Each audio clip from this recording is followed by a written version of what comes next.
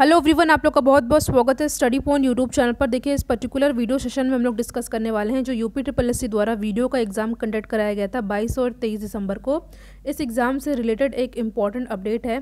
देखिए, जो officially announcement हुई है ऑफिशियली नोटिफिकेशन आया है और इस एग्ज़ाम से रिलेटेड जो रिज़ल्ट की आंसर की आई थी, उसकी रिवाइज आंसर की आ चुकी है। इसको आप ऑफिशियल वेबसाइट पर जा करके डाउनलोड करके देख सकते हैं और बात रही रिज़ल्ट की तो रिज़ल्ट आपका आ जाएगा।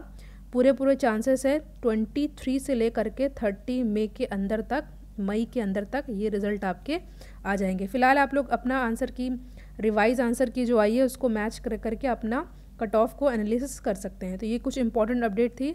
अभी तक आपने चैनल को सब्सक्राइब नहीं किया तो तो आप सब्सक्राइब ज़रूर कर लीजिएगा। Thank you so much for watching thank you